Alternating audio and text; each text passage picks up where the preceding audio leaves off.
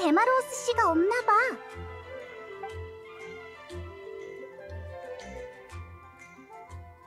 손님? 저기, 음, 무슨 일로 오신 거죠? 별거 아니야. 항상 여기 있던 사람이 없길래 이상해서. 아, 그렇군요.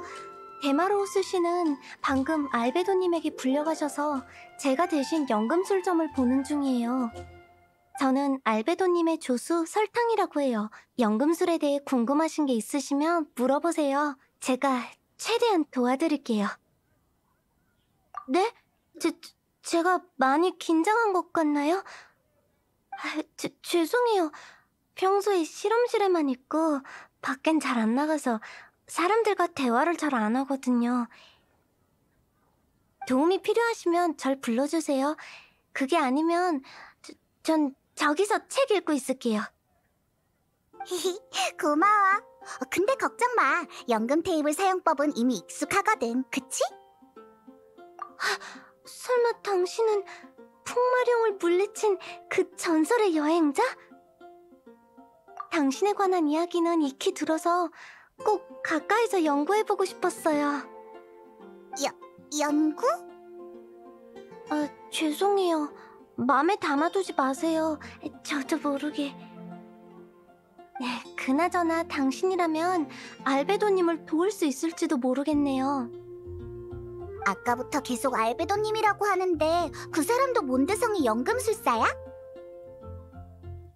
죄송해요. 소개가 늦었군요. 알베도님은 페보니우스 기사단 수석 연금술사이자 저와 티마이오스 씨의 스승이셔요. 평소엔 항상 티마이오스 씨가 연금술을 가르치고 있었는데 그럼 그 사람은 선생님의 선생님인 거야? 네, 알베도님은 세계의 진실을 탐구하고자 애쓰고 계세요. 위대한 업적도 진짜 많이 이루셨죠. 연금술사들은 항상 먼 길을 마다치 않고 그의 도움을 받으러 몬드로 와요. 복잡한 문제도 알베도님이 조금만 가르쳐 주시면 완벽하게 해결되거든요. 진짜 대단한 사람이구나. 네, 하지만 요즘 알베도님한테 슬럼프가 온 것 같아요. 얼굴에 수심이 가득하더라고요. 당신이 모험에서 겪은 비범한 경험은 분명 알베도님께 진짜 진짜 많은 영감을 줄 거예요. 알베도님은 아주 신사적인 분이세요. 도와주신다면 분명 그에 따른 보답을 해주실 겁니다.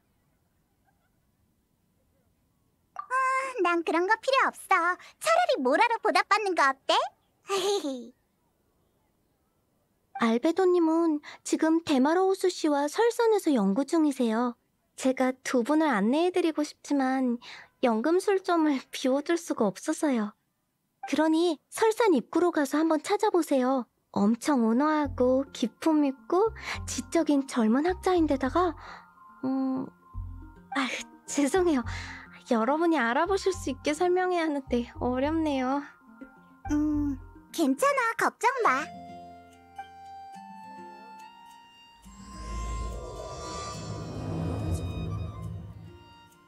설탕은 연금술과 연구 얘기만 나오면 전혀 주눅들지 않네. 이런 게 연구원의 기질인가?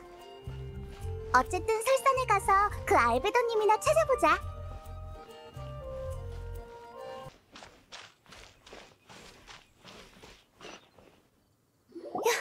여기 계셨군요.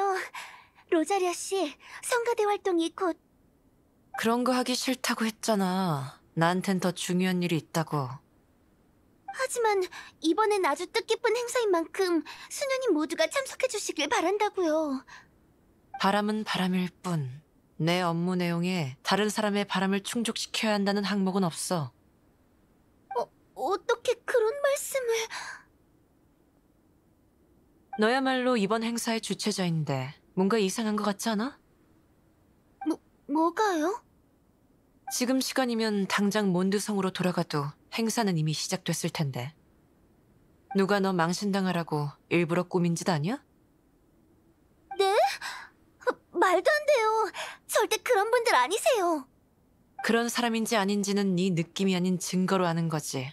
하, 아님 그냥 네가 사람을 너무 쉽게 믿는 건가? 걱정 마. 네가 그냥 돌아가더라도 널 탓하는 사람은 없을 거야. 내가 정말 갈 거라고 생각하는 사람은 아무도 없거든. 그렇게 더 꿈을 댔다간 진짜 늦을걸? 맞아요. 중요한 기념 행사인데 늦어버리면 그, 그럼 전 이만 가볼게요.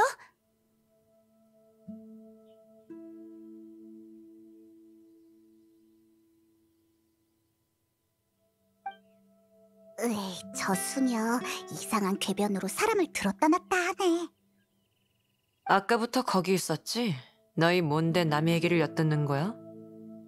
조심해. 위험한 사람 같아. 음, 좀 사기꾼 같다고 해야 하나? 어. 역사 깊은 페보니우스 성당의 일원보다 너처럼 둥둥 떠있는 정체불명의 날파리가 더 위험하겠지.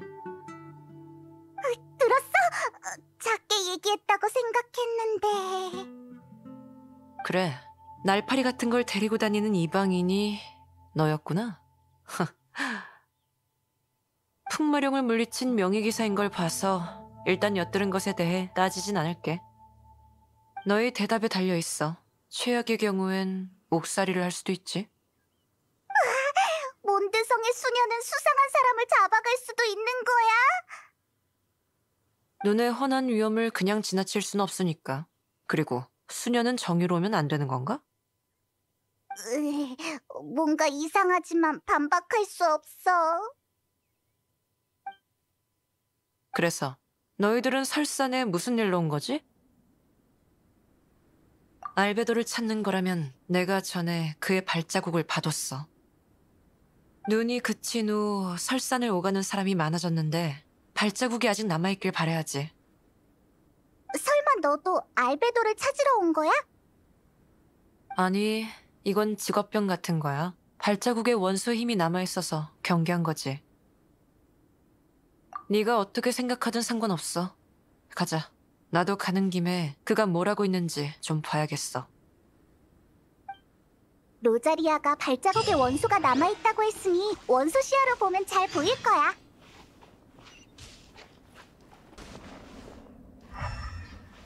그러고 보니 날파리 너 말이야. 갑자기 사라졌다 나타나는 그 능력 정말 흥미로워. 왜? 범죄를 저질러도 조용히 현장을 떠날 수 있을 거 아니야. 이 너무하잖아. 왜 멀쩡한 날 범죄자 취급하는 건데? 으이, 어째 점점 더 추워지는 것 같아. 로자리아, 넌안 추워? 나? 난 열악한 환경에서 움직이는 게 익숙해서 괜찮아. 음, 페보니우스 성당의 수녀가 되려면 이런 경험도 필요한 건가?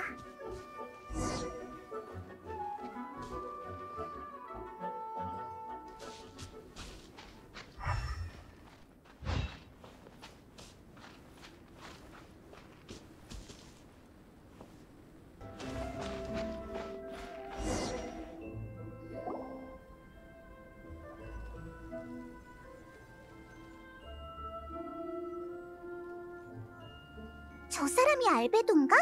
왜 이런 곳에 있는 거지? 알베도는 그림 그리는 걸 좋아한다고 들었어.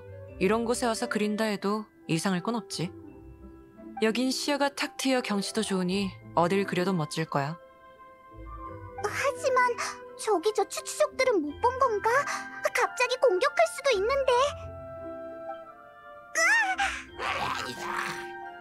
우, 우리가 녀석들의 심기를 건드렸나 봐. 일단 해치운 뒤에 얘기하자.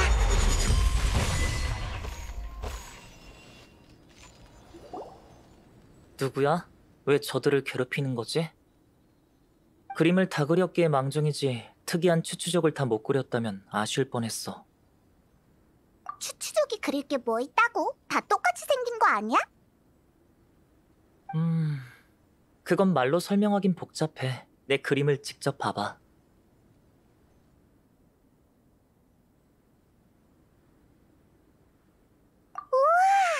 열심히 그린 것도 있는데 되게 성의 없게 그린 것도 있어. 어디서나 볼 수 있는 시시한 추추족은 시간 낭비할 가치도 없어. 하지만 얘를 좀 봐. 체격이며 털이며 자태며 전부 남다른 생명력이 보여. 원시 부족의 순환되는 삶 속에서 이런 특수성은 진화를 의미해. 진화는 즉 무에서 유로 이미 알고 있던 것부터 미지의 것까지. 잠깐 잠깐 얘기가 길어질 것 같은데 난 그런데 관심 없어. 사람도 찾았으니 난 이만 가볼게. 어, 너 알베도한테 물어볼 거 있는 거 아니었어? 이봐! 휴, 정말 이상한 사람이야. 로자리아 수녀님이 길잡이 역할을 하실 줄이야. 음, 미처 감사하단 말도 못했네. 그나저나 여기까지 날 찾아온 거야? 맞아. 몬드성에서 설탕이란 애를 만났는데 요즘 네 연구가 슬럼프에 빠졌다고 하더라고. 그랬군. 설탕이 너일 보낸 거구나. 내 예상이 맞다면 네가 바로 요즘 몬드성에서 회자되는 그 명예 기사지? 네가 용의 재앙에서 보여줬던 행동과 심상치 않은 원소 제어 능력 그리고 그 외의 신비한 점들까지 모두 전해들었어. 결론부터 말하자면 가능성은 오직 하나. 넌 머나먼 다른 세계에서 온 거 맞지? 좋아. 네가 도와준다면 분명 내 연구에 한 획을 그을 수 있을 거야. 아, 미안. 많이 당황스럽지? 어디부터 설명하는 게 좋을까? 음, 먼저 생명의 본질부터 얘기해볼까? 잠깐! 벌써부터 너무 추상적이잖아. 음, 그건 그렇네. 말로 설명하는 것보단 직접 보여주는 게 좋겠어. 마른 가지에 새 생명을 불어넣는 그런 거 말이야.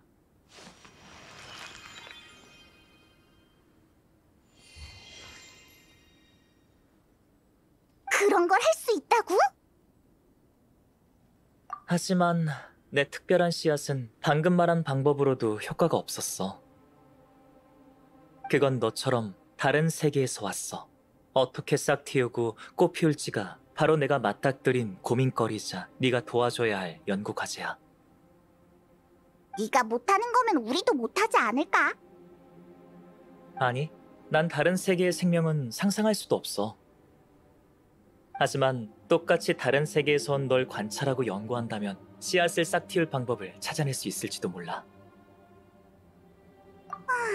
어쩌지? 좀 이상한 것 같은데. 어쩌면. 하지만 내가 최대한 안전하게 지켜줄게. 그럼 지체할 것 없이 서둘러 장소를 옮겨 연구를 시작하자.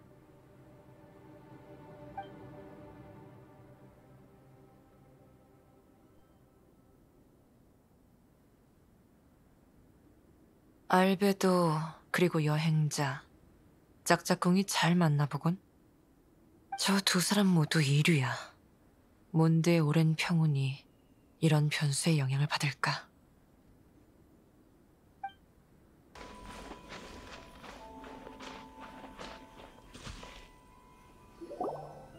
그나저나 궁금한 게 있어. 그 씨앗이 싹 트면 뭐가 자라나는데? 몰라? 난 결과보단 과정이 중요하다고 생각해. 연금술로 이 티바트에 속하지 않는 생명을 깨울 수 있다면 생명의 본질에 대한 내 이해는 한 걸음 더 나아갈 거야. 깨우는 게 가능해지면 창조도 불가능한 건 아니지. 아, 아직도 너한텐 좀 어려우려나? 왜 그럴 리가? 완벽하게 이해했다고. 난 그저 이 씨앗이 싹 트면 뭐가 자라날지 더 궁금할 뿐이야. 만약 맛있는 열매가 열리면 같이 나눠 먹자. 헐, 약속한 거다. 왜냐면 난 가끔 어떤 아이를 돌봐주기도 하거든. 설명하기 좀 복잡한데 그냥 연금술 외에 가진 잔재주랄까? 그나저나 첫 번째 연구는 원소의 힘에 관한 거야. 이 세계 사람들은 원소의 힘을 사용하려면 신의 눈을 가져야 하지. 하지만 너한텐 그런 게 없는 것 같아. 네가 어떻게 자유자재로 원소의 힘을 사용할 수 있을지 확인할 겸 몇 가지 물어볼게. 우선 너한테 다른 사람은 없는 장기가 있니? 두 번째 심장이나 네 번째 위 같은 거 말이야. 그렇구나. 그럼 네 옆을 날아다니는 저 꼬맹이와 네 몸이 혹시 연결돼 있어? 질문이 이상해. 딱 봐도 안 이어져 있잖아. 그리고 난 꼬맹이가 아니라 페이몬이라고. 네가 외부 장기일 가능성도 있으니까 어쩌면 너희는 보이지 않는 방식으로 연결돼 있는 걸지도 몰라. 오, 그럼 이것도 배제할 수 있겠네? 그렇다면 페이몬이 내게 원소의 힘을 전해준 거 아닐까? 하지만 이건 페이몬의 원소의 힘이 거대한 산을 통과하거나 샘물마을 남쪽의 폭포를 거슬러 올라갈 수 있다는 전제가 있어야 해. 역시 불가능하겠군. 나 아직 아무 말도 안 했거든. 그렇다면 네 신체 구조는 이 세계의 인간들과 크게 다를 바 없다는 것 같네. 그럼 실험으로 혹시 모를 차이점을 연구하는 수밖에 없겠어. 일단 출처가 불분명한 이 원소의 힘이 도대체 어떻게 밖으로 나오는 건지 좀 볼게. 슬라임을 유인해 올 테니 가장 익숙한 방법으로 무찔러봐. 에이, 이렇게 간단한 방법으로 관찰하는 거였냐고. 훌륭한 실험은 직관적이고 분명해야 해. 게다가 이건 아주 단순한 연구일 뿐이야. 물론 너희가 시시하다면 동시에 물의 정령 여섯 마리와 싸워보는 수도 있어.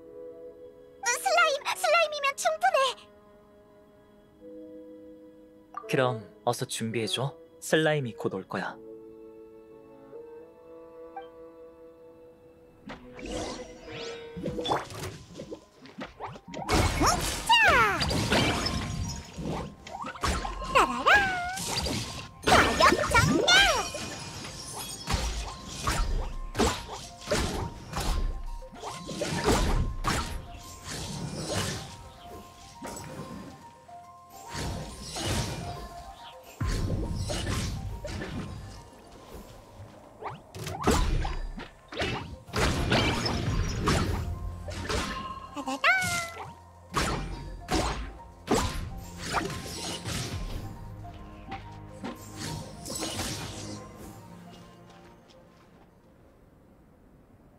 수고했어.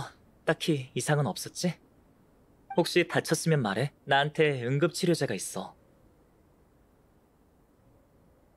그럼 다행이고 관찰해보니 밖에서 흐르는 원소의 힘이 원활하고 원소 반응도 정상이야. 딱히 특별한 점은 없었어. 외부 흐름은 문제없으니 이제 내부 흐름을 테스트해보자. 내부 흐름은 어떻게 할 건데? 간단해. 연금술로 원소의 힘을 추출해 potion을 만들 거야. 만약 원소의 힘이 생리적 방식으로 네 몸에 저장돼 있거나 쌓여 있는 거라면 이런 potion과 원소 반응이 일어날지도 몰라. 무서워. 괜찮아. 정상이라면 일시적인 불편함이 있을 순 있지만 몸에 해롭진 않아. 만약 정상이 아니면?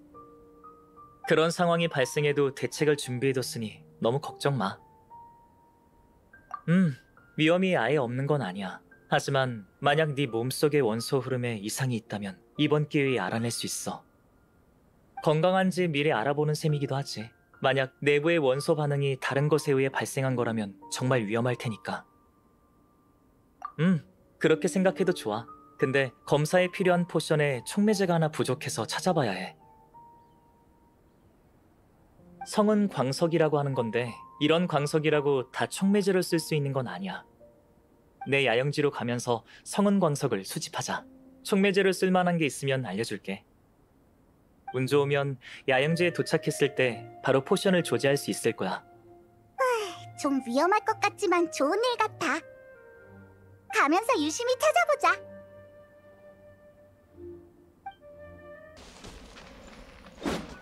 운이 좋아. 이거면 충분해. 바로 앞 멀지 않은 곳에 내 야영지가 있으니 따라와.